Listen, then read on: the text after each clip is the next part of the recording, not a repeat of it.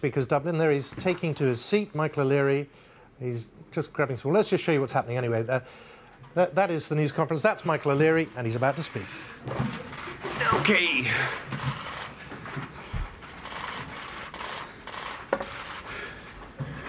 We get the camp pictures done out of the way. Okay, ladies and gentlemen, you're all very welcome. Thank you for coming here at reasonably short notice. Um, I thought what we would have we handed out the press releases.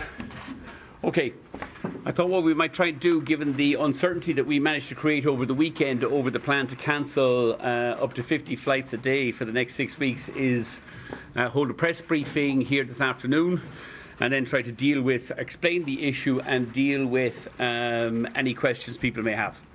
So, here's the factual position. We, on uh, Friday afternoon, took a decision to cancel an average or slightly under 50 flights a day for the next six weeks. We did so that because for about the previous eight or nine days, our punctuality had fallen from something uh, of an average of about 90% to under 70%. Uh, for two reasons. One, we are suffering a lot of ATC and weather delays.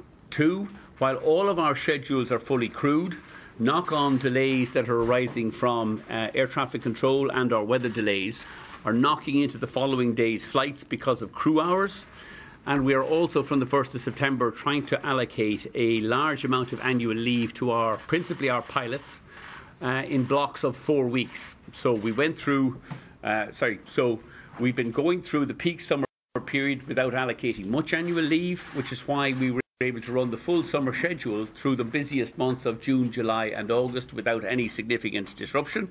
In fact, we carried 12.7 million passengers in August, an increase of 10% over the traffic we carried uh, the previous uh, the previous August. We're not short of pilots. We presently have over 4,200 pilots in Ryanair.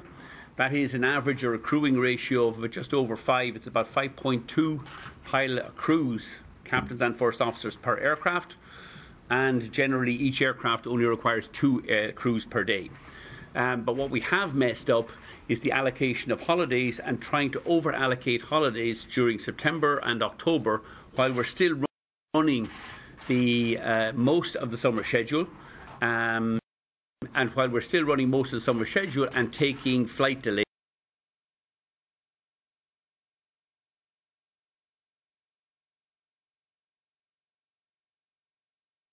officers per aircraft and generally each aircraft aircraft only requires two uh, crews per day. Um, but what we have messed up is the allocation of holidays and trying to over allocate holidays during September and October while we're still running the uh, most of the summer schedule. Um, and while we're still running most of the summer schedule and taking flight delays because of principally air traffic control and um, weather disruptions.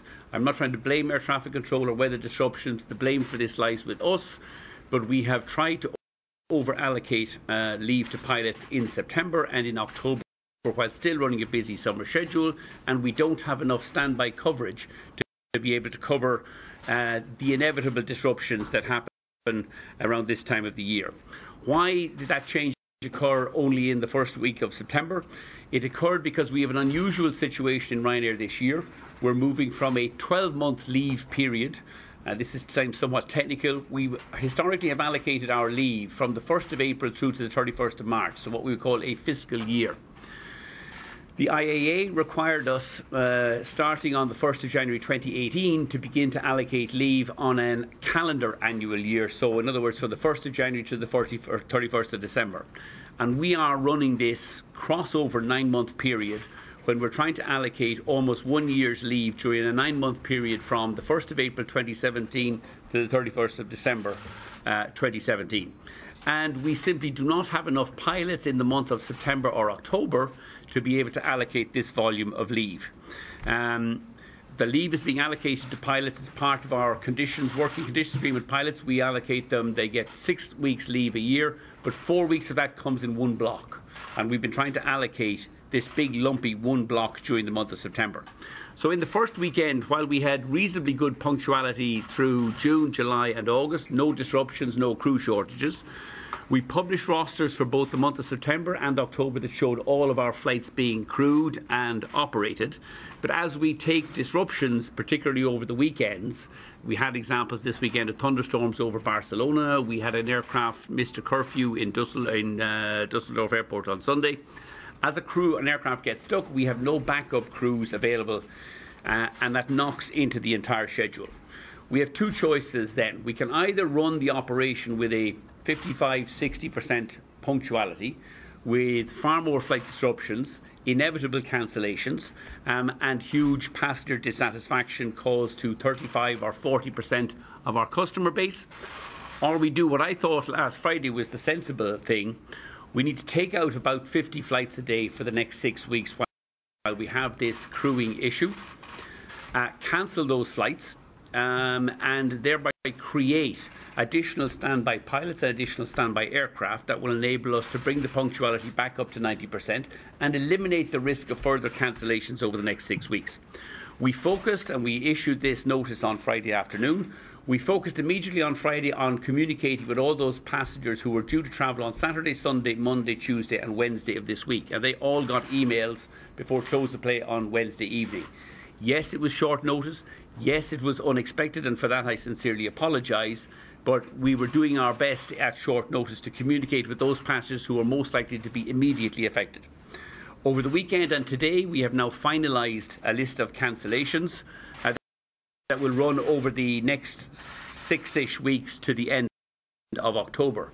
And uh, the figures, what we have tried to do, and the reason why we're running slightly delayed in why didn't we just publish the list? Because we spent most of the weekend trying to find lines of flying that we can cancel at the bigger bases. So Dublin, Stansted, Milan, Bergamo, Rome, Fiumicino, where we can cancel flights, but on out of airports where we have multiple daily frequencies to London, out of Dublin, to Milan, out of Rome, to Madrid, out of Barcelona. And that by taking out one of the lines of flying out of each of one of those busier bases, we will have many more alternatives to communicate to passengers rather than just telling them, sorry, the flight is cancelled, go away. What we're trying to do is to cancel flights on those busy routes like Dublin Amsterdam, which we operate four times daily. It may be reduced to three times daily. Dublin Stansted, for example, which we operate 12 times daily, may be reduced to 11 times daily, and so on and so forth. And that's why we've had a delay over the weekend trying to work out these cancellations or to try to allocate these cancellations to those routes where we can offer passengers the most amount of uh, alternatives. Uh, we've given you today, uh, in this afternoon, the press release. And what I've tried to explain in the press release is we've cancelled one line of flying at uh, what is it? Nine, one, two, three, four, five, six, seven, eight, nine, nine of our busiest airports and bases. We've cancelled two lines of flying at Stansted. And what we mean by a line of flying, it means, say, for example, in Barcelona, we have 12 lines of flights at Barcelona. So we have 12 aircraft based there that does one full day of flying. We will take out one of those 12 full days of flying generally speaking, though, on routes where we have other flights that day, and we will now be trying, we're going to be issuing emails to all our customers this evening, as well as putting the attached notices up on our website and on our social media pages. And we've given you a sample, for example, of what flight cancellations will take place on Monday, the 25th of September, 2nd, 9th, 16th, and the 23rd of October. In total, there will be 50 flights cancelled on Mondays, there will be 44 cancelled on Tuesdays, 42 cancelled on Wednesdays, 48 on Thursdays, 52 on Fridays, 48 on Saturdays, 52 on Sundays, which is an average of 48 flight cancellations a day. This is a large number of flight cancellations, but to put it in some context, we are operating more than 2,500 daily flights. So it amounts to less than 2% of the total flying programme.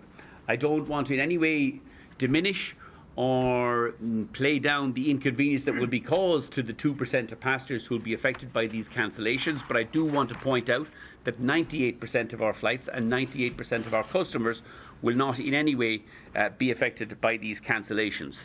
Uh, and the reason we've taken the decision is because that's what best protects those 98% of flights and the 98% of customers. It minimises the, their delays and it eliminates the risk of any other uh, schedule or uh, scheduled cancel- cancellations because of these uh, the crew leave issue. All customers will rec- on these flights through to the end of October will receive an email this evening highlighting firstly the alternative flights that they can transfer to, hopefully on the same or at worst the next day.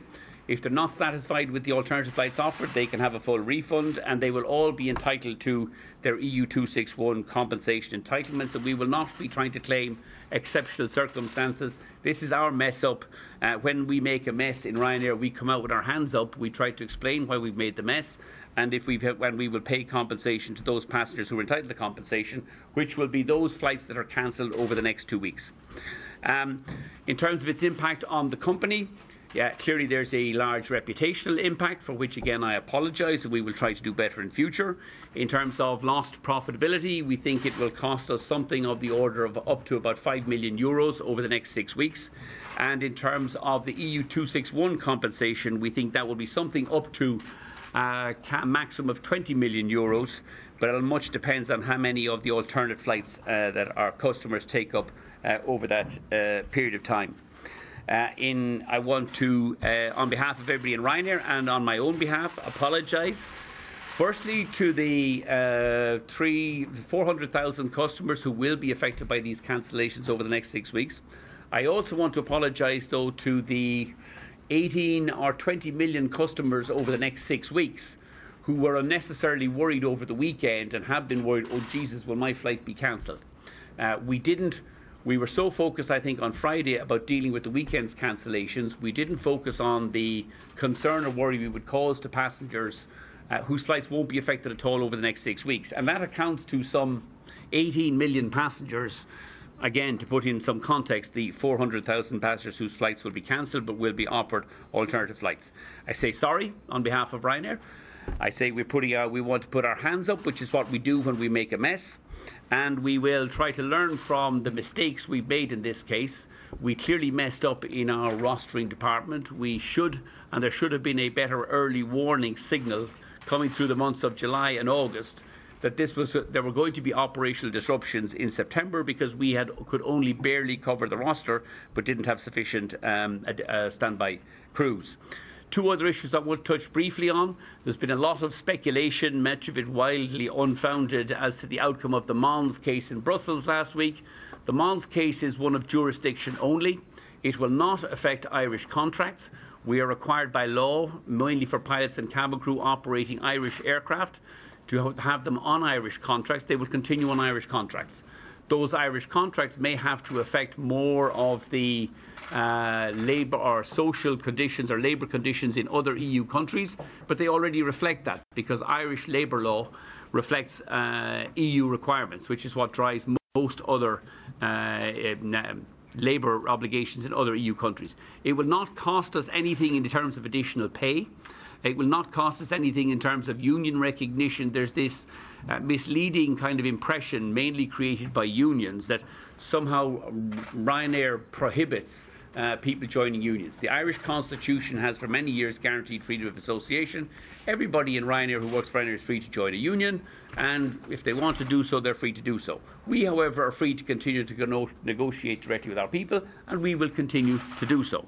It will not lead to unionisation in Ryanair, um, nor will it lead to uh, material changes in our Irish contracts. The one most uh, significant one we can think of uh, that we found thus far, for example, is that in we would typically have 12 months probation under our Irish contracts. In Germany, uh, there is a legal preclusion on anything more than six months probation. So, for example, the only significant outcome of Mons at this point in time on our Irish contracts would be we may have to reduce the probationary period from 12 to 6 months in Germany. Everybody will still have their union entitlements, their rights, etc., etc because they're protected under Irish legislation, uh, as Irish legislation has adopted most of the EU um, requirements. The one other issue is Alitalia. We have made two uh, non binding offers for Alitalia. There is a process at which we are in the foothills of. Uh, there is a third round of offers due for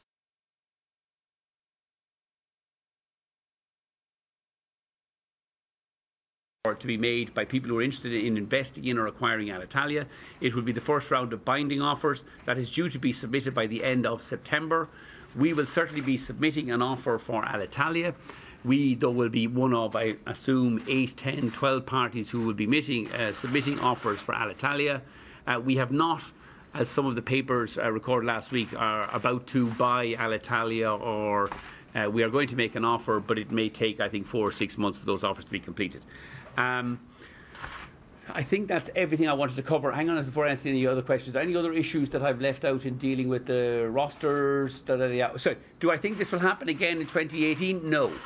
What's different in 2018, by the way, is we move on the 1st of January at the, again, the IAA insists we're on to a 12 month annual leave period. So we have 12 months in which to get rid of these four or six weeks blocks of pilot holidays. The difficulty we're dealing with uh, in September and October is we're trying to get rid of a disproportionate amount of four weeks blocks of holidays for pilots while we're still running the summer, much of the summer schedule through September and October. It doesn't arise, we believe, for the 1st of November because we move into the winter schedule when there is less flying and we have more room to allocate um, annual leave. And with that, now I'll open up to questions. Yes. Uh, Darren from Sky. Darren, Michael. Um, We're not in a mess, by the way. we have clearly messed up 2% of our flights, which is somewhat different to the other 98% of our flights that would be unaffected. In saying that, you say your slogan is always getting better. Yes. Clearly, for a lot of passengers, that's not been true. How much do you personally take responsibility for this, given the fact that it's been pretty clear that this was coming for some time and how it's been handled? I mean, have you personally helped to damage the reputation of your own company?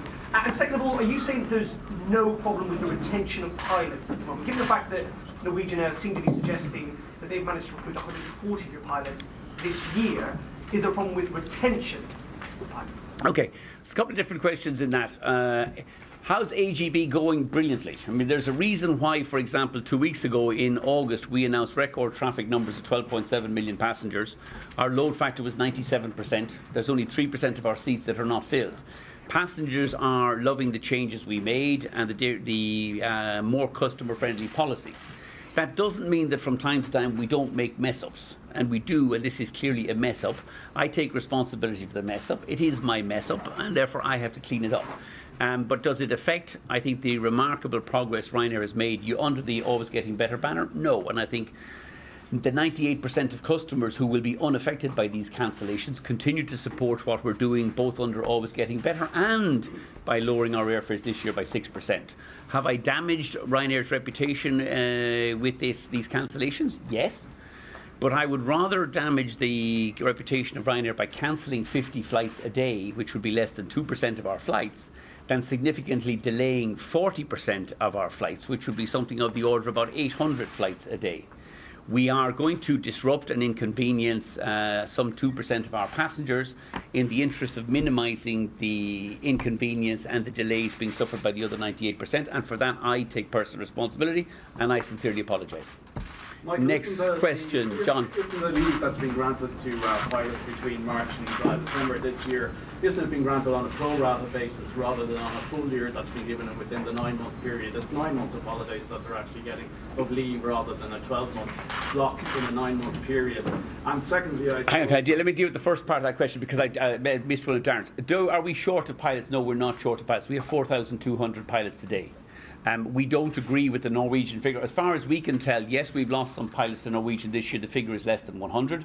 We have also recruited pilots from Norwegian this year. Pilots are coming to us from Norwegian last year and this year. There is a flow of pilots.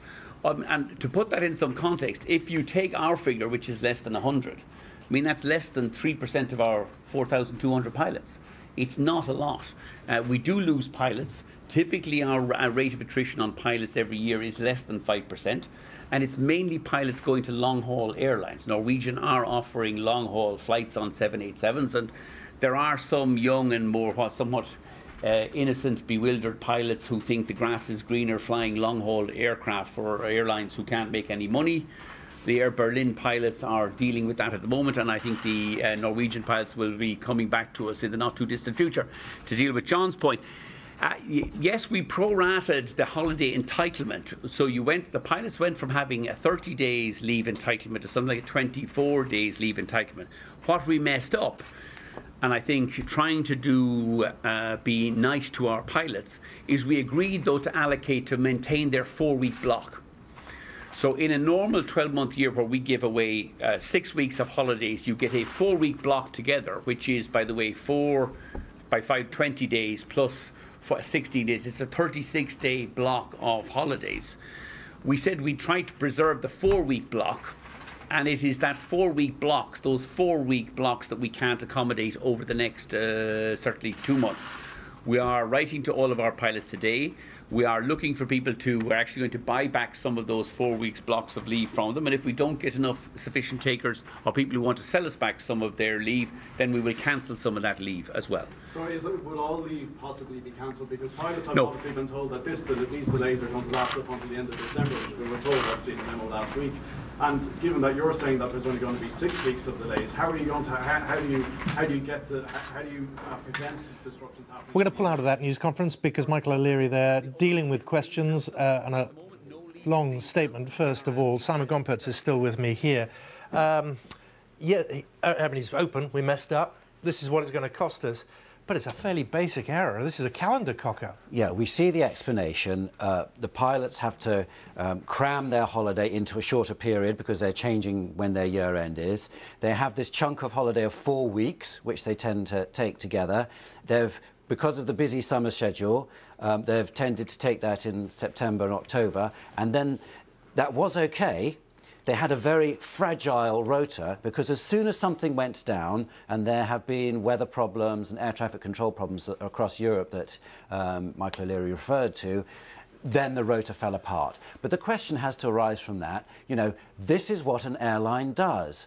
Their expertise is to be able to manage not just the planes themselves around so many different countries and through all that airspace, but the staff within them. So their expertise to do that, although Michael O'Leary took the responsibility upon himself, I wouldn't have liked to have been in that roster department when he walked in on Friday to say, what's happened? Or the PR department, because as he, as he made the point, there is massive reputational damage to a big airline here. Yeah, I mean, he big reputational damage. Um, he tried to play that down, saying this is just affecting two percent of our passengers because the other planes are going to be okay.